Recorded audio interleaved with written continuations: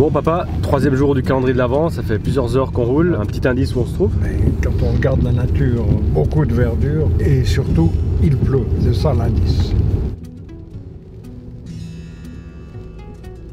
Bon papa, tu aurais pas un, un deuxième indice? Alors la région est, est célèbre pour la culture des pommes, beaucoup de pommiers. Et qu'est-ce qu'on fait avec euh, les pommes? Eh bien, un super calvados, région réputée pour le calvados. Troisième indice. Voilà, on s'approche du troisième indice, jette un coup d'œil dehors, tu le verras.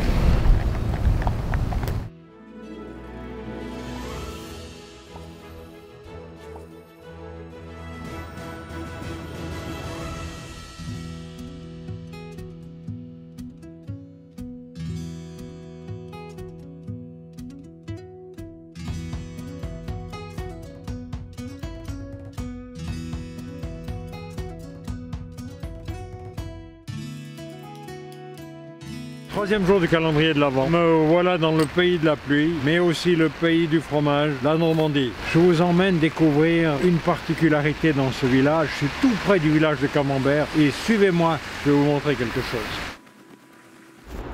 Non, c'est pas ça. Me voilà près d'une statue. Cette dame, elle s'appelle Marie Harel.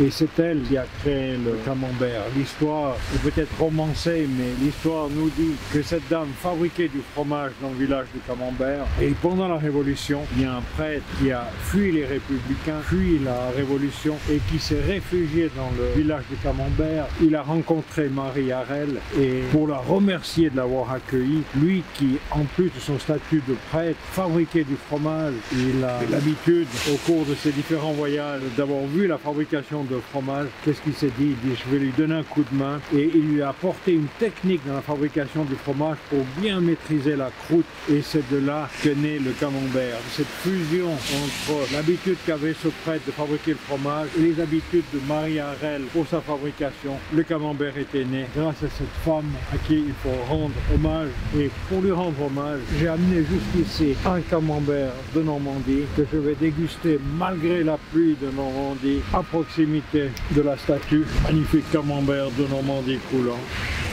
Oh, non mais la trempée.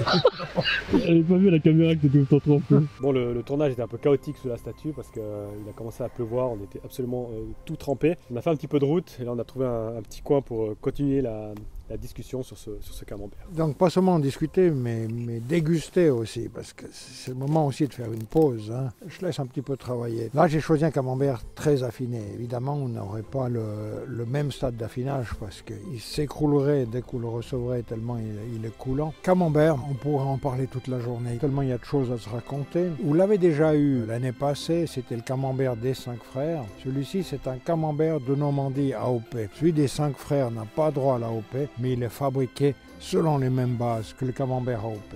Dès qu'on dit camembert, Michel, eh bien, c'est un produit qui peut être fabriqué partout dans le monde.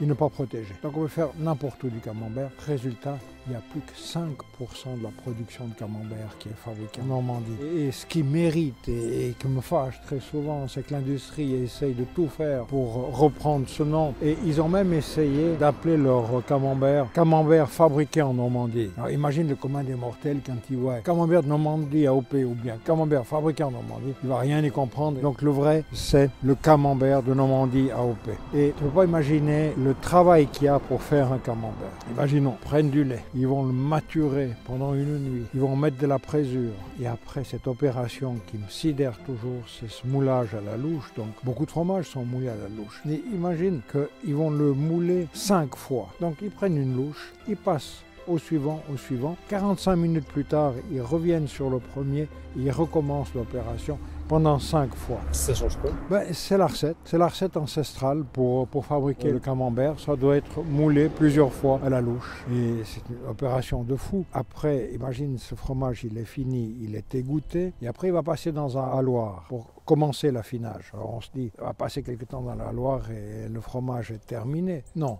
Quand il est prêt, quand il est bien ensemencé, que cette jolie couleur blanche du, du champignon s'est développée, ils vont l'emballer une première fois et le garder encore quelque temps. Il va se reposer un petit peu, ils vont le ressortir, ils vont changer l'emballage et à ce moment-là, le, le camembert est prêt à être dégusté, à être envoyé. Donc, un travail de fou. Et, c'est pour ça qu'il faut absolument respecter cette recette du, camembert AOP parce que c'est une histoire, on l'a vu avec Marie Hurel, c'est une tradition, puis c'est un goût, hein. il y a quelque chose à déguster à Marie aujourd'hui. Ça a du goût, hein. Très très bien. Ouais, c'est bon. Bon papa, ces explications, c'est bien gentil, mais on a encore de la route. On y va. Il faut y aller. Il faut y aller, il faut y aller.